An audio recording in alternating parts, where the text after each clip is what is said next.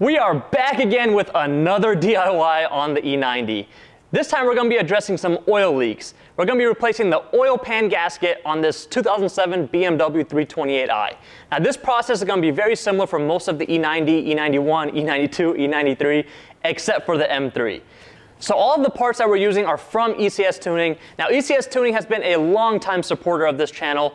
So if you guys need anything, make sure you check them out. All the links will be down below. Along with this oil pan gasket, we're also going to be replacing the engine mounts. So all that stuff is probably a good time to do all of it at once since you already have the whole front subframe removed. Now I'll have chapters throughout the whole video, but most of this stuff is gonna have to be done in steps. a couple of things, we are gonna be removing the entire subframe. You don't really have to, you can let it drop down, but we're gonna be replacing a lot of the suspension stuff later on, so we're just gonna be pulling off the entire subframe. Now as we're going through here, there's a couple of things that are already removed on the car. I've removed the wheels, I've removed the air box, the air intake scoop, and even the whole cabin filter assembly is already removed. Now I've got all this addressed in other videos, I'll have those linked down below, so if you need those steps, check those videos out. So we're just gonna get right to it. We're at the part where we're gonna be removing the engine cover, and then we're gonna be installing the tow hook onto the engine so we can put an engine support bar. Before we get started, it's always a good idea to disconnect the battery when we're gonna be doing something extensive like this. So go ahead and get that disconnected.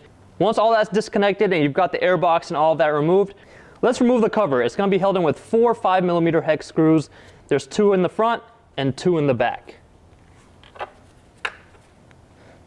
So we're, we're missing the two in the back, but it's one right here and one down in the corner.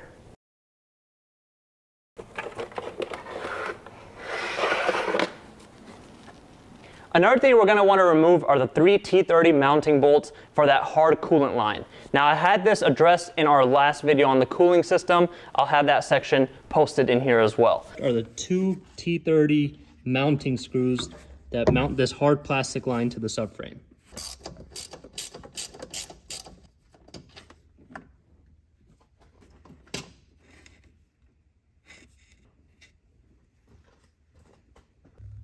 We can go ahead and pull out the screw. It's a T30.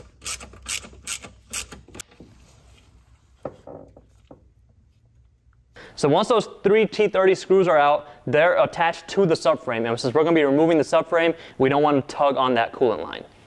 Since we're also replacing the engine mounts, it's a lot easier to access the two 16 millimeter nuts that hold the engine mounts to the actual engine. So we're going to remove those two nuts from up here with a bunch of extensions. Start with the passenger one.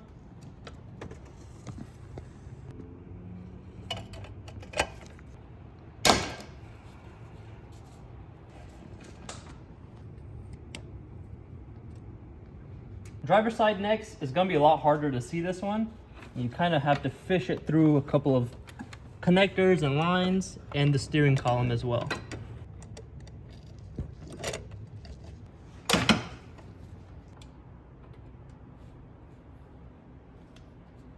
Since we're going to be removing the subframe, we're going to have to support the engine. We don't want the engine just falling out when the subframe comes out.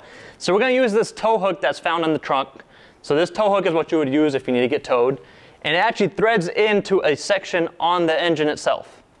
Right next to the oil filter housing, we have this threaded section. Since we're doing the oil pan gasket, we're going to have to change the oil and oil filter as well. So gonna go to remove the oil filter to break that seal so whatever oil is in this housing will slowly make its way down into the oil pan. Oh my God. That was on there way too tight. It's about due for an oil change anyways. Perfect timing. So this is sealed by this O-ring right here. So as long as we thread it in a couple of notches so no dirt and debris gets in, we can leave it just like that. Time to get our engine support bar in place. Now this one you can find at Harbor Freight. I think it's like 100 bucks. It usually goes on sale too. So it just makes sense to have one. If you're doing this without a lift, you could also use a cherry picker if you have that, if you don't have this. But this is just gonna be safer because a cherry picker has the hydraulic jack, which could also leak and fail. We just wanna make sure that this engine doesn't fall out when we pull the subframe down.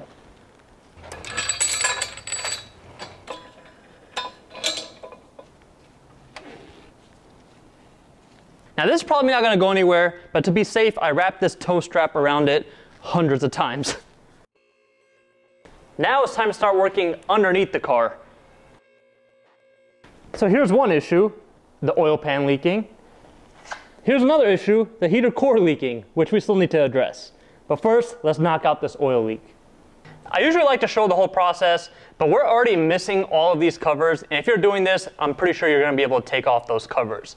If you still have them. Most of them probably not even gonna be there. Now, well, let's get to it. It's about to get greasy, to say the least. Mm. Gotta love the E90. Let's start by draining the oil. You have the oil drain bolt. It is a 17 millimeter bolt. Let's see if I can do this without getting my hands dirty. Yes, sir. smells like 7,000 miles. While the oil is draining, we can remove this triangular brace. It's gonna be held in with six 16 millimeter bolts. So we've got one here, one here, two right here, one in this hole and one right here, one over here, and one more right here. So I loosen them with the breaker bolt because we still don't have those Milwaukee's. Or the new Ridgid, you know, the half inch brushless, the extra, extra powerful one. We ain't got that one either yet. One day.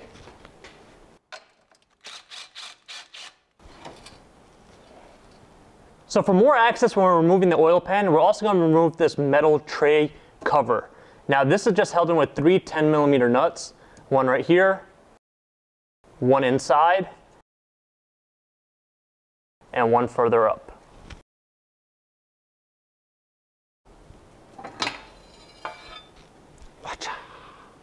To disconnect the oil level sender, you just have to push the two tabs in on each side of the connector and you pull it off. Sometimes you need a little persuasion. Just very gently.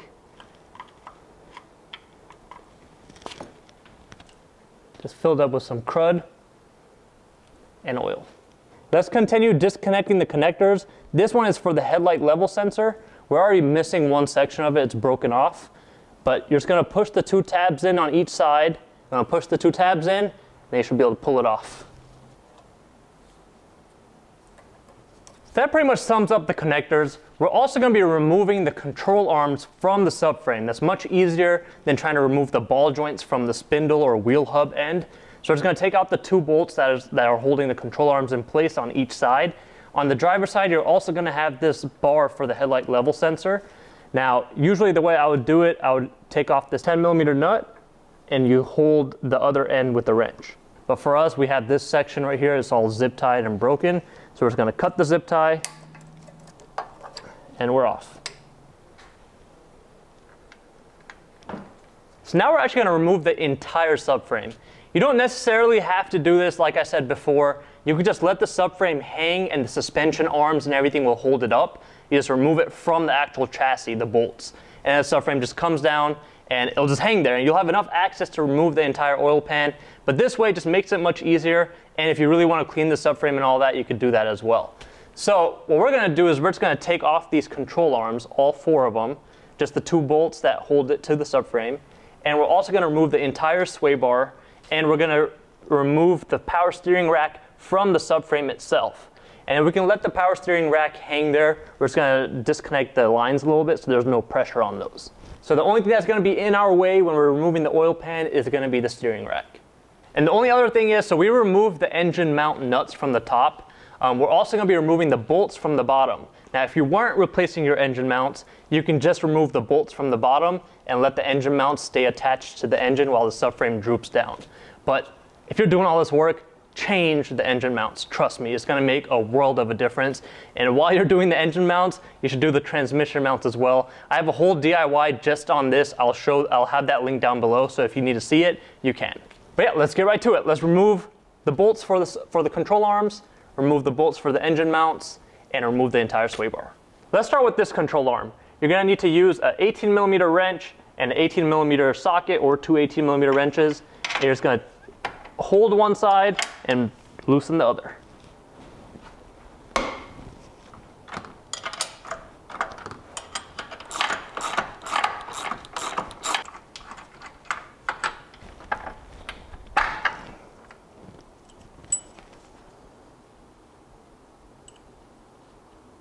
Next up, we have this control arm.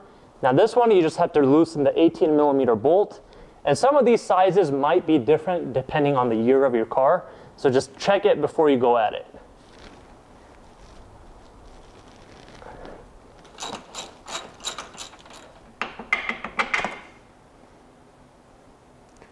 Well, someone's been in here recently or oil penetrated it and it's got all kinds of gooey mess on it.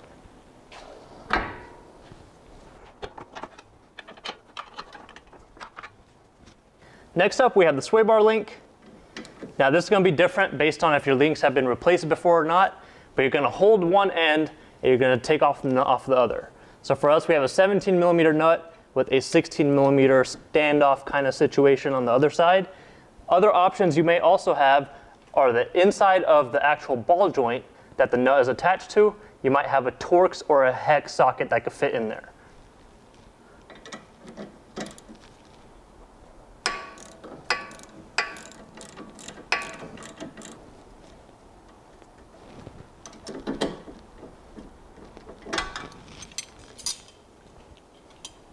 Now we're gonna do the same thing on the driver side, and only thing that's gonna be different is the actual headlight level sensor. So that's gonna dangle. The sway bar is held in with four 13 millimeter nuts now, two on each side.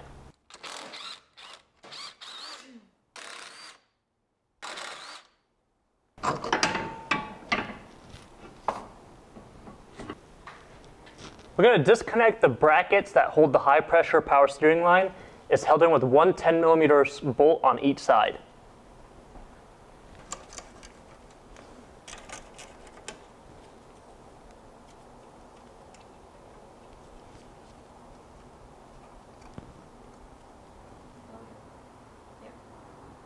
So the reason we took off this high pressure steering line is we're just going to let it dangle. Uh, that when we release the power steering rack from the subframe, there's play in it and it doesn't get stressed, it doesn't pull on anything. So to remove the steering rack it's just held in with two external Torx 12 bolts, and there's a nut on each side of that bolt. So you are gonna have to counter hold the nut with a wrench while you take off that E12.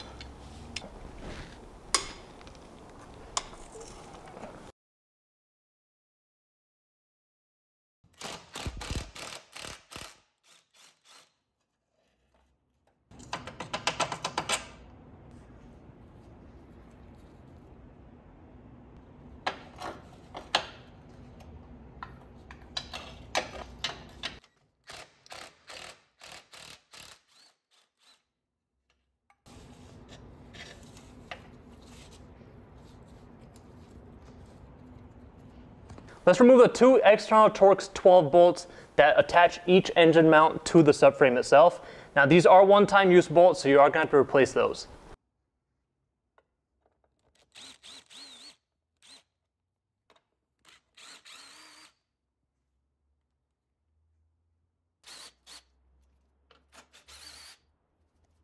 Now those engine mounts are going to be loose if you remove the nuts from the top as well. You should be able to wiggle them around with your hand. The passenger side is the one that's usually going to have a little bit more tension than the driver side, just because the engine actually kind of tilts that way.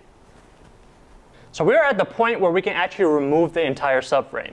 And depending on the year and model of your E90 or E92, the bolts are going to be a little bit different. For us, on this 2007 328i, we have 19 millimeter bolts. There's six of them, three on each side. What you also want to do is you want to support the subframe whether it's with a floor jack or a pull jack like this, you just want to support it. That way, once we have all the bolts out, there's still something on there. Now, I repeat, do not do this if your engine is not properly supported and if your engine mounts have a lot of tension on them still, do not do this until you go back to the top and you tighten up that engine support bar some more. That way it lifts it up because we definitely don't want to risk having any of the weight on the subframe still. We want it all on that engine support bar and the transmission mounts in the back. Now once again, I've already loosened all the subframe bolts because we don't have that Milwaukee.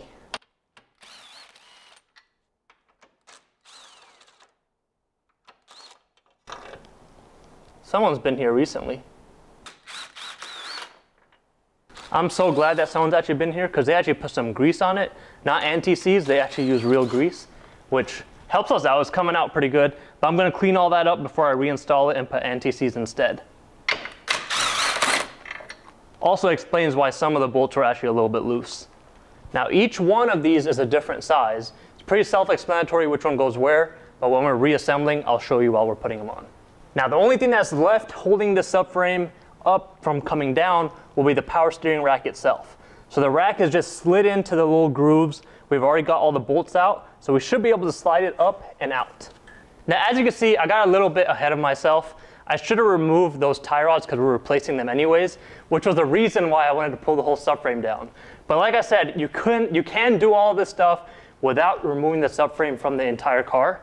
I am gonna go ahead and have these instructions of removing the tie rods before you guys see this anyways. Now you just counter hold the ball joint with whatever size socket you need for your application.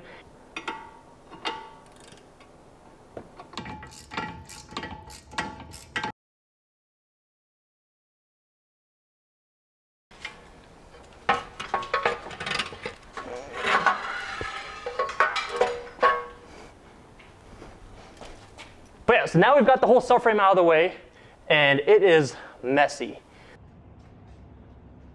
With the subframe out of the way, we can finally pull down the oil pan. Now the oil pan is attached to the transmission with a couple of screws, and there's also the transmission cooler lines that are on this automatic. Now if you have a manual, you're not gonna have those cooler lines, so you're probably not gonna see this step. Some of the E9X chassis did have an oil return line that goes into the oil pan that's going to be held on with four tabs and it's just a hose that comes down and attaches to the oil pan. I'll show you guys on our oil pan where the block off is. Now if you have that, it's going to be a little bit different than what ours looks like. So there's going to be a couple of differences here, but overall the gist of it is the same. So we're going to do we're going to first start off by taking off those transmission cooler line brackets. Here's one of the brackets. It's just held there with a 10 millimeter nut. And here is our oil block off that I was talking about for that return line. Now you don't need to remove this all the way, you just gotta loosen it so we can slide down the whole bracket. Now this bracket is further towards the cooler itself, toward the front of the engine. Now you don't need to remove the nut all the way, you just gotta loosen it, and now you can see this whole thing is moving. With both brackets loosened, we can actually slide down the cooler lines and pull out that bolt and the whole bracket will lift up. Do the same thing for the front one. You can see the front one already popped out as well. Now we are going to have to mess with these lines a little bit to get access to some of the bolts. And also when we're pulling the oil pan down, we might have to move the lines a little bit. So what you can actually do is you can get a zip tie and zip tie it to the engine mount arm. That way it's out of the way. So we've got a zip tied out of the way. We can still move it around for some of the bolts. But now let's take off the bolts that are going from the transmission into the oil pan. Now there's three E10 bolts that go through the transmission.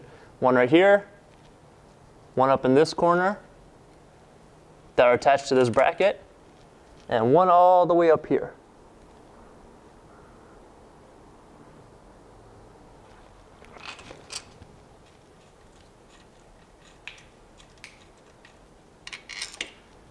You can just let the bracket dangle once you have the two bolts removed.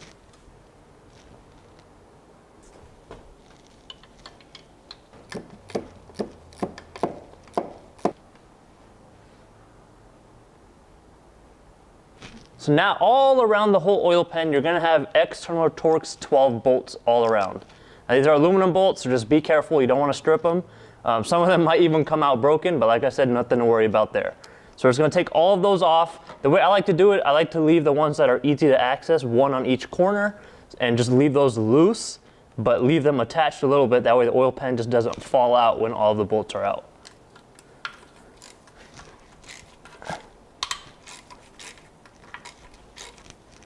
Just wait till it starts dripping. Look at that one, that one's broken. That one just came out broken, so it was just holding on with hopes and dreams. Another one broken. That's two. Another one. Turn into DJ Khaled over here. Another one. People are gonna start thinking that I'm tightening them. That's why they're breaking. But no, I'm just trying to loosen it. See, that one's good. Another one. So far, we've had more broken than actually came off. Another one. So here's what I'm thinking. Somebody somebody changed this oil pan gasket before, and that's why that subframe and everything is loose and lubed up. And they just tightened them too much and they all broke. And that's why some of the bolts have been replaced. Another one. Now the ones that are in the back are gonna be a little bit longer, but I'll show you guys all this when we're reassembling. No wonder why all the other bolts are broken. Whoever put these on, put them on so tight.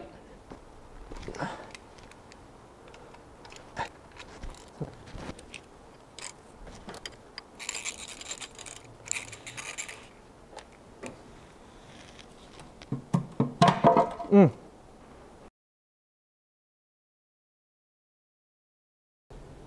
So here is how the gasket came out. That's why it's leaking. Well, that was the easy part, I guess. Wow, this is gonna be a fun job. Yeah, it's on there. And a lot of these are actually flush. We've got one, two, three, four, five, six, seven, eight, nine, ten. So we gotta take out 10 of them. Let's just hope a couple of them are just hand threaded. Or we can just take it off with our fingers, but let's try this one. Nope. Haha. No, Oh. you gotta be shitting me. I drilled out all the other broken bolts. We left the final one so I can show you guys the easiest way to do it. You're gonna need something like this. I'll have it linked on Amazon. It's like a punch, but it's a spring-loaded punch. So what you do is you just push it in the middle, and then it puts a little dot for you where you can start drilling. Now that's definitely not in the center, but this whole thing is all jagged, so it's gonna be really hard to get it in the center. And we just need a small enough hole to get a, like an extractor bit in there, and then we can thread it out. Now here's the life hack. This is not just any drill bit, it's a cobalt drill bit. Now that makes it very, very strong and makes it easier to drill through pretty much any kind of metal. Now you really want one of these, it makes this job a lot easier compared to like a normal drill bit that's like titanium or whatever it is. Those normal drill bits, they just don't get it done. I'll have this link down below as well. This one is actually in a pack that came from Harbor Freight, and I've had it for like a couple of months and it still works. Now I just have it on this extension just to make it easier for me to drill all the other ones that I was drilling before. Now I've got this broken easy out. The tip is broken off. Now I've got it hammered into this socket. That way it makes it easier for me to actually extract it. And the way these work is you put this into the hole that you just drilled, and as you're loosening it, it's actually reverse threaded, so, sort of. So it actually digs into that broken bolt a lot more.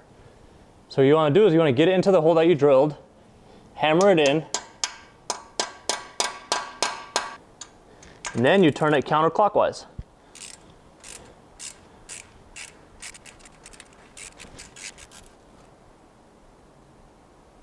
And now all we need to do is just clean everything up. Now you do want to be careful if you have a broken bolt somewhere further along in the engine somewhere else, you want to make sure none of those shavings go inside the engine. So for us, this, this one was down here, so it'll just fall straight to the ground. I'm still going to clean up the whole surface area. So here's most of the ones that I had to drill out. This one I, do, I was able to actually grip it with some vice grips and it popped off. And the rest of these had to drill each and every single one.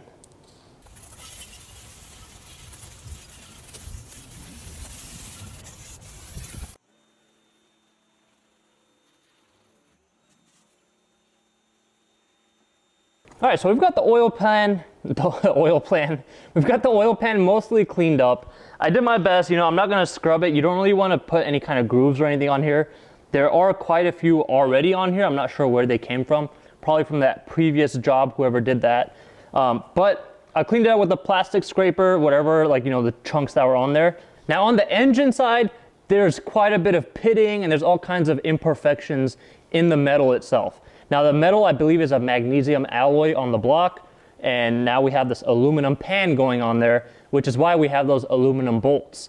So what I'm gonna do, since this engine's probably not going to last another oil pan gasket change, and we don't want it to, right? We want it, this oil pan gasket to not leak for a long, long time. Now the gasket that is the replacement gasket, even the stock ones, they're metal with this rubber lining right in the middle section. Now this rubber lining is on both sides of the gasket and it goes on the intersection and that's what usually like, you know, hardens up over time and then that's what starts leaking. So what we're gonna do, which I don't usually recommend this, but this is my cousin's car. He's gonna drive it till it dies. We're actually gonna put RTV on both sides of the gasket. Now we want a very, very thin layer and that's just gonna fill in any of those minor imperfections. Now I would use Curil T2, um, but it's just, we're gonna use the Permatex Ultra Black. There's a lot of it in one tube and we'll be able to coat both sides and we don't have to worry about anything. So we're gonna put a very thin layer down on the oil pan first, then we're gonna put the gasket on top and put a very thin layer on top of the gasket as well so it's coated on both sides of that rubber section. Now you want to be very careful, you don't want to get it into any of the holes, we don't need it anywhere in those, we don't want it in any crevices, we don't want it to drip into the pan either. So a very, very thin layer. Now as you can see, I am not a professional RTVer, I rarely ever use RTV. It looks super messy, but it's a very, very thin layer and I made sure it's not gonna get into the oil pan because we definitely don't want any of the RTV roll it around in the oil. It takes 24 hours to fully cure. So the way we're gonna do it is you put it up and then you snug up all the bolts and then you wait one hour before you do the full torque. Now the torque on these aluminum bolts is very, very minor, but I'm gonna show you guys all of that here shortly. Now we gotta put it up there. So since we have this RTV on the gasket, the gasket's not gonna really move around unless it hits something. So we wanna make sure nothing hits and the RTV is still wet. So even if it does hit a little bit, it is gonna smooth itself out when we torque the whole pan up to the actual engine block. Because what's gonna happen is that RTV is gonna squeeze out and fill in any of those imperfections, and we still have that rubber slash metal gasket in between. So we're just pretty much double gloving, you can put it like that. We're adding extra protection from leaks in the future. Now, one thing you do wanna be sure is you wanna make sure you clean that mating surface on the engine as clean as you can get it. Use some brake cleaner, but do not spray the brake cleaner directly onto the engine. Spray it onto a lint-free towel. I usually use a microfiber and use, you can use brake cleaner or any other solvent that's gonna flash off. Make sure there's no oil residue there, and then we're ready to move on to the next step.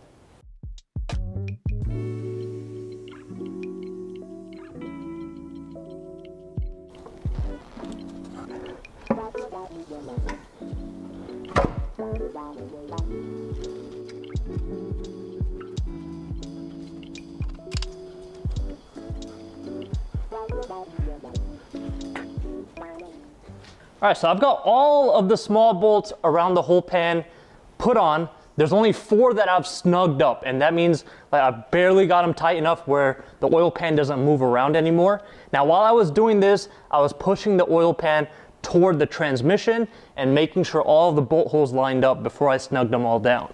Now, the only bolts that we have left are the super long ones that go towards the very, very back, as well as the bolts that go from the transmission into the oil pan. Now, none of these bolts are torqued, but there's thread locker on all of these bolts. So it's only gonna go up to a certain point before it starts resisting. And you don't want to use the impact to tighten them at all, not even to snug it up. So you wanna snug them down with the normal wrench, that way you have a feel for it. And we're not gonna torque any of these until all of the bolts are put in. Then the initial torque is just gonna be six foot-pounds, which is barely anything. So let me go ahead and show you guys which big bolts and the length of them, which ones go where.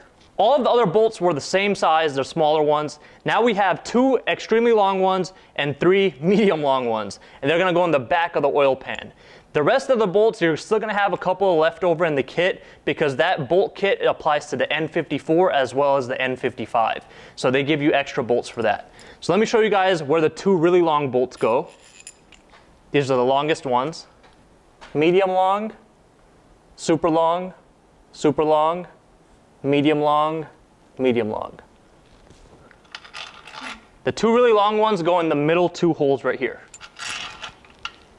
And then we have the three medium long ones, which one goes right here, and the other two go all the way up here.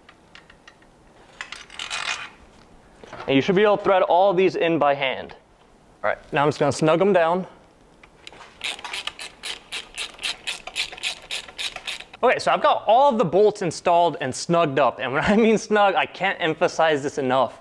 We just barely want it to touch the oil pan just so that way the oil pan's not moving around anymore. So once you have all of the bolts in, we don't have any of the bolts going from the transmission to the oil pan. We're gonna put those in last.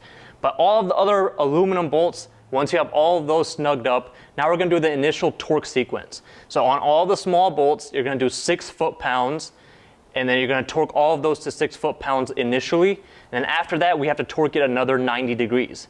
The big long bolts, those are also gonna be initially torqued to six foot-pounds, and then you're gonna torque those an additional 180 degrees. So what I'm gonna do is I'm gonna start in the middle, I'm gonna go towards the passenger side first, and then we're gonna crisscross. So go from the passenger to the driver passenger, driver, and just keep going crisscross. And we're going to do that initial torque sequence to six foot-pounds. Now, when I was snugging up all of the bolts, once I got a good amount on the driver side done, I went ahead and finished all of the passenger side bolts. And the reason I did that is because the passenger side of the engine is tilted towards the passenger side. So what's going to happen is if there's any oil that's still dripping down from the engine itself, if it's going to get into that oil pan, it's going to start trying to make its way out through that gasket towards the passenger side. So we want to try to get those passenger bolts done first, but that's once you have most of them snugged up. It's kind of confusing. If you're quick enough, it doesn't really matter, but I, that's the way I like to do it because I like to take my time. And you want to be very careful with these bolts because you can only torque them once. Once they're torqued, then if you try to loosen it, you have to replace the entire bolt. And they are very, very easy to break. So you want to make sure you're not going crazy with it. So let's go ahead and start with the six foot-pound torque, initial torque on all of these bolts, and crisscross method. And all the bolts are external Torx 12.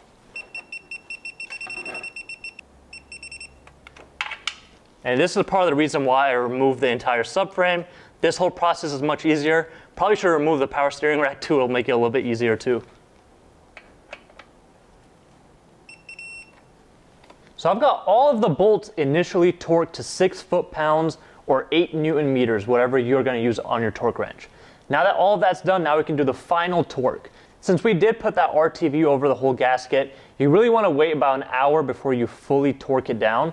Uh, we're already at that one hour mark, so we can go and do the rest of the torque sequence. Now the remaining torque sequence for all the small bolts that went around the oil pan is going to be another 90 degrees. And then the four super long bolts, or the five super long bolts that are in the back of the pan, those are gonna go another 180 degrees. Now, when I say 90 degrees, you don't have to be exactly 90. You know, we had that initial torque down. We really wanna be somewhere between 60 to 90 degrees. You don't wanna go over 90 because then you risk snapping off those aluminum bolts. And if it snaps off, you know it's not gonna be a good day. So we just wanna get it between 60 to 90, and then for the back ones, we wanna get it between, say like 150 to 180 degrees.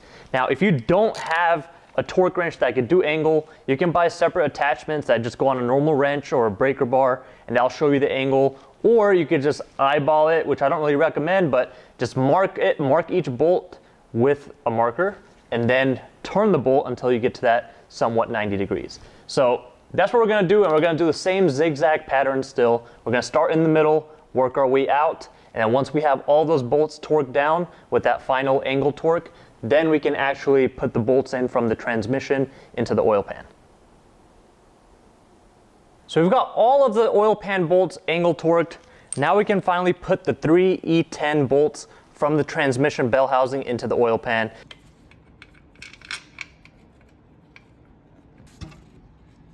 That one.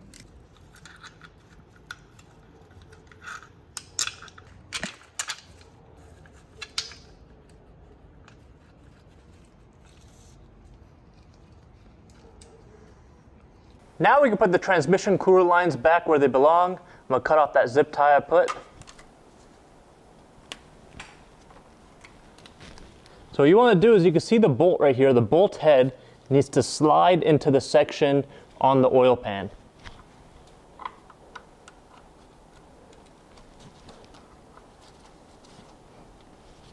You can see how it's starting to slide. Now we want to get the front section in as well before we slide it all the way up. And then we're just going to use a 10 millimeter wrench to tighten it up. You just need to get it snug, not too tight. And do the same thing for the back one.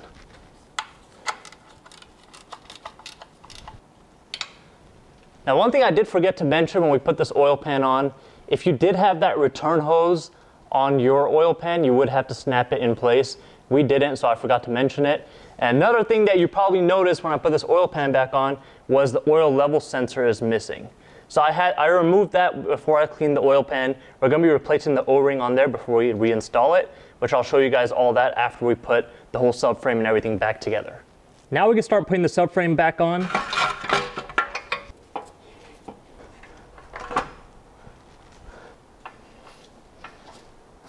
So since we had our subframe all the way off, I had to route it back over the steering rack and then I slid the steering rack back into the tabs that holds the steering rack into the subframe.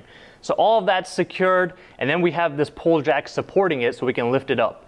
But one thing that we are replacing, and I highly recommend you do as well, are the engine mounts. So what we're gonna do now is we're gonna put the engine mounts into the subframe and loosely thread in the new bolts that you have to use as well on both sides, get those pushed in, and then we can lift the whole subframe up into the actual grooves that it needs to sit in, as well as guide the engine mounts into the engine mount arms. So we're gonna start with the passenger side here. So there's a dowel that guides the engine mount into the orientation where it needs to be, so make sure it's lined up and then we're just gonna lightly hand thread these two engine mount bolts in place, and then we'll tighten them once everything else is put back together. So I'll be completely honest with you guys. I really hate all of this gooey, gummy, oily mess. And a lot of you guys are thinking, why don't I just clean everything with like brake cleaner or something like that? Just go to town, spray everything off and get all of it off. Here's the thing with brake cleaner. A lot of people might not agree with this, but whenever you start spraying brake cleaner all over the engine and whatnot, there are rubber seals that the brake cleaner does not mesh well with. And those seals will deform and they will start leaking. Now this might not happen every time, but the risk is there and I do not want to deal with that, especially with that rear main seal or anything like that. We don't want to screw any of that up. All of the stuff that's still gummy, I will be degreasing it later once all of the other repairs are done. We'll put the car outside, you know, lift it up a little bit, pressure wash, clean everything up as best as we can. But we're not trying to go for a spotless look here. If I did that, I would be here for a whole week just cleaning everything. So for us, now that the subframe is in place, we've got the engine mounts in place, what I'm gonna do is I'm gonna go ahead and thread in the bolts for the power steering rack. Now you, if you didn't remove your subframe, you probably still have these in there. We're just gonna hand thread them so that way the steering rack's not pushing in and out. It's gonna stay in place. Now as a refresher, you're gonna have an external Torx bolt with a nut on top. So you wanna slide it in place, and you might have to move the power steering rack around a little bit. Then we're just going to hand thread it in for right now. And do the same thing for both.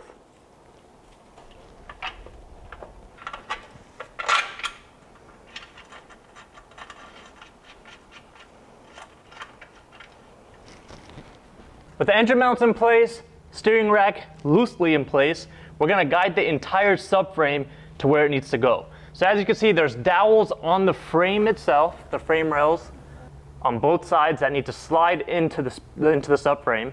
And we also have the engine mounts that need to slide into the engine mount arms. You just want to make sure those engine mounts are going into the engine mount arms properly.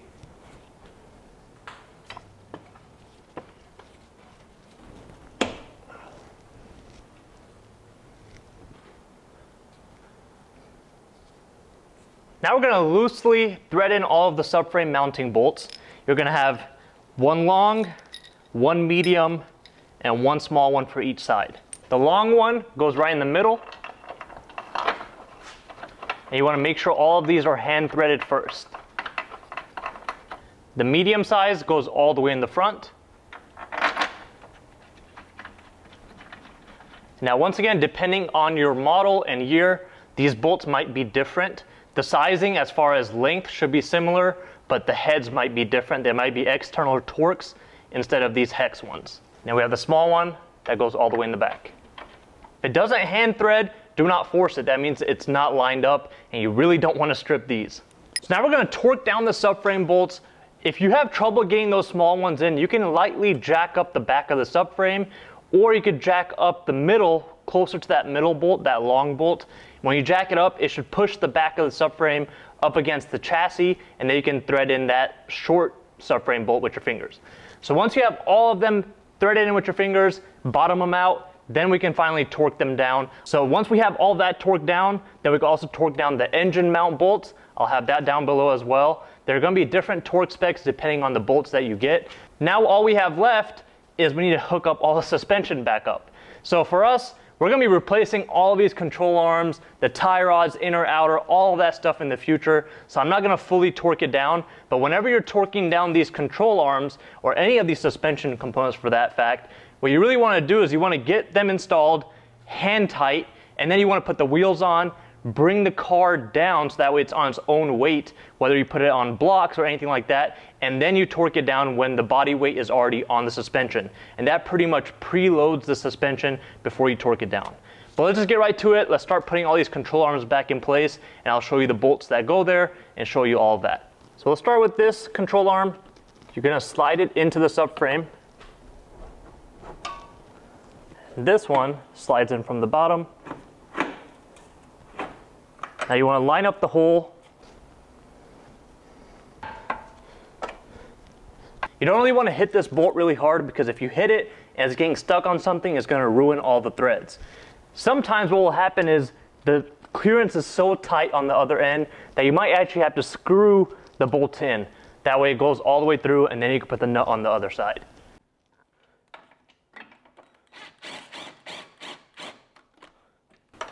Now this is an 18 millimeter nut, 18 millimeter bolt.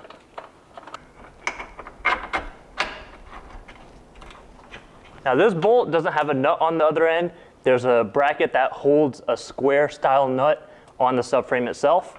So it's gonna put the bolt in, get it through all the way and thread it in. And this is also an 18 millimeter bolt. Now when we're installing the tie rod end, you usually wanna replace your lock nut because these are one-time use only. Now, especially if they have this nylon insert inside, those are definitely one-time use. If you don't have one on hand, you can use some blue Loctite for the time being. And you really want to make sure that these tie rod ends aren't torn like this one is.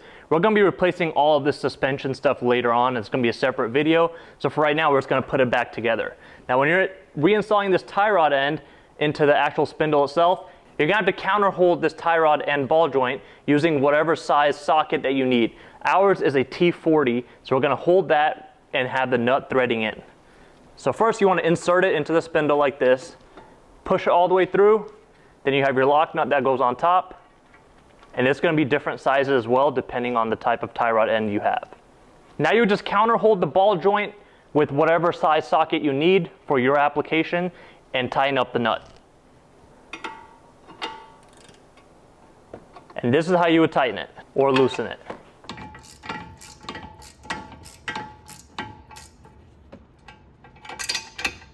So all the stuff that we did on here with the tie rod and the two control arms, do the same thing on the other side and make sure you don't torque down the control arms until we have everything else put back together, put the wheels on, bring the car down and make sure the weight of the car is on it so it's preloaded before you torque it down. And I'll link another video down in the description that goes over the reason why you need to do that. But now before we reinstall the sway bar, we're gonna go ahead and tighten down the steering rack. First we'll tighten down the brackets that hold the steering pressure hose in place. There's just two 10 millimeter screws on both ends. Now we need to tighten down the E12 bolts that are holding the power steering rack to the subframe. You're gonna have to counter hold the nut with a 16 millimeter open-ended wrench and just use the E12 socket to tighten it down. And once again, the torque specs will be listed down below. The reason I'm saying that is because I'm not torquing any of that stuff down since all of it's coming back down for the next video. Time for the sway bar.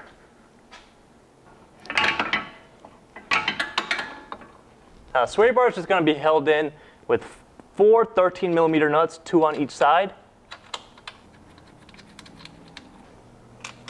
So one difference that you will have on your driver side is your headlight leveling sensor. So this needs to go before you put the nut on this back control arm, you want to put it in place. There's a bracket that holds it, and there's a tab on the bracket that guides it where it needs to go, and then you can put the nut on. And depending on how you remove the arm itself, you need to resecure it like that. So if you took it off from the actual level sensor, you're going to have a 10 millimeter nut on one side, and you're to have to hold, counter hold the other end of it. And then also, don't forget to plug it back in. With the sway bar in place, we can put the sway bar link back on. Now once again, this is gonna vary from car to car, and if it's been replaced before, for us, we just have this nut, and then we have a standoff on the other end, which we hold with the open-ended wrench. Yours, you might have to put another socket inside to counter hold the ball joint from the sway bar link, and then tighten the nut, same way we did with the tie rod. Now here we have the oil level sensor that was held into the oil pan with three 10 millimeter nuts. So the reason we took this off is to replace this O-ring that's inside. This one actually looks like it's been replaced, but since we already have it off, we're gonna go to replace it again. So you just gotta get a pick in there and you just pull it straight out. This is all there is to it. And we can clean it up. Now here's the new O-ring, does not have a specific orientation. You could put it either way. And you just wanna push it into the groove. Now you can lube it up with some oil or some silicone spray before we reinstall it. Now you wanna go ahead and clean up this whole area, make sure there's no debris anywhere. Now we've got it lubed up. And you just slide it in place. Put the three 10 millimeter nuts all around it. And now when you're tightening these, you wanna tighten them evenly. Tighten them until they bottom out. You don't really need to go extra crazy with the torque or anything like that. There is a torque spec for this, but you'll probably hear a lot of horror stories when people go to torque these nuts down, it breaks the whole stud off. And when it breaks the whole stud off, you're pretty much screwed. You gotta replace the oil pan. And we just did all that work, so it's not worth it. Just get it nice and snug until it bottoms out. And once you have it tight, just plug it in. While we're right here, let's go ahead and change out this oil drain bolt. The ECS Tuning oil pan gasket kit comes with a new drain bolt and also comes with the oil filter and oil. So open up your oil filter box and get a new crush washer as well.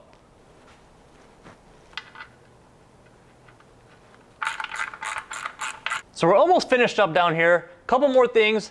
What we can do is we can actually go ahead and start hand threading the engine mount nut. So this is the nut that goes to the engine mount from on top of the engine mount arm. So it's gonna be a lot easier to start threading it from right here and then tighten it from the top. We also wanna go ahead and torque down the fasteners for the engine mount bolts from the subframe to the engine mount. With all that secured, we still have to put this cover on and then the bracket on underneath and the rest of the plastic covers. Now for this metal tray, there's three 10 millimeter nuts. One right here, one right here, and one right here.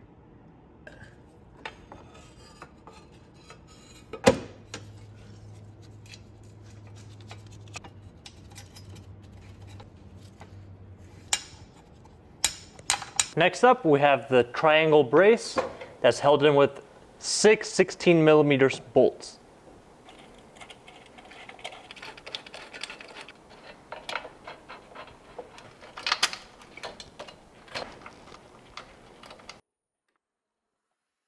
Before we release this engine support bar, make sure the subframe and all that stuff is torqued down. Now we can, once we release this, the engine's just gonna go right back onto those mounts and sit on the subframe. You can also take off your tow hook and put it back in the trunk. This will also be a good time to change your oil filter. We left it loose, that way all that oil would have drained out. When you change the filter, change the O-ring, and we can put this back together.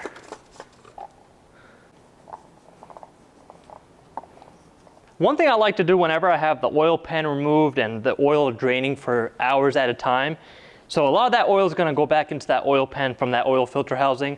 And whenever I do something like this, I like to pour some oil down that oil filter housing. It's probably not going to help anything, I just like to do it. Now you know what would really suck? If you forgot to put that drain bolt back in or you didn't tighten it, yeah, it's coming right out at this point.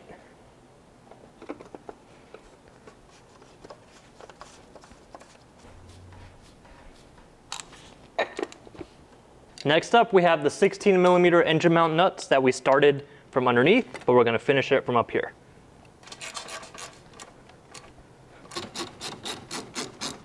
Next up, we have the three T30s for that hard plastic coolant line that attaches to the subframe. So you wanna start these out by hand.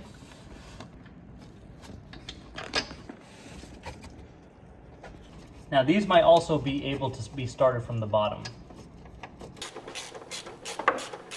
And the third one goes right here. Sometimes a little extra length goes a long way. Next step is to fill it up with some oil. We're gonna put about six and a half quarts, let it run a little bit. It's probably gonna end up taking all seven because we cleaned that whole oil pan out and we let everything drip out. But six and a half first, then we'll check the level with the computer since we don't have a dipstick, and then we'll add whatever else is left.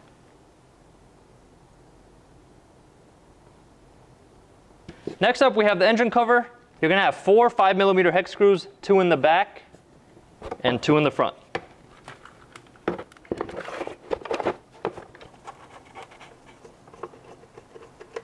And just like that, we finished the oil pan gasket replacement. Got the car an oil change, new engine mounts. I did not do the transmission mounts yet, but I do recommend doing them if you're doing all this work. Now, a couple of pointers. If you're doing this at home without a lift, I would definitely recommend removing the power steering rack completely. It's gonna make it a lot easier to get everything off. It's gonna make it a lot easier to torque everything down properly. And when you're doing that, just make sure you have either if your hoses are leaking, make sure you have new hoses. Make sure you have at the very least the crush, crush washers that go on those power steering hoses, as well as some new CHF 11S fluid. So make sure you have all of that. This will also be a good time to replace any of those control arms, your tie rod ends, any of that maintenance that we pretty much removed everything to get to it. Now everything I've done, all the parts were from ECS Tuning. They'll all be linked down below. Any other recommendations I have will be linked down below. There'll also be torque specs in the description. And that's pretty much it for this video. Now we still have a few more things that we're gonna film on this car. So make sure you subscribe if you have an E90 and you need that work done as well. I'll have all that stuff also linked on here. We'll make a whole playlist once all of the videos are up. Thank you guys for watching. We'll see you guys in our next video.